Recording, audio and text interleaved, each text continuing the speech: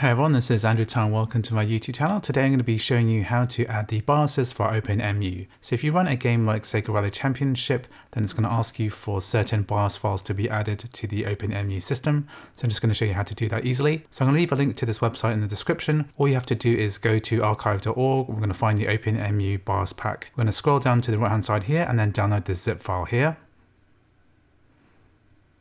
So once that's downloaded, I'm going to go to the downloads folder. If you can't find your downloads folder, it'll be in Finder under downloads here. Then we're going to open up this OpenEmu BIOS pack here. And what we're going to do is to select all the items here. So I'm going to press the Command A. That's going to select all of the files. And basically, I'm going to get the window of OpenEmu here.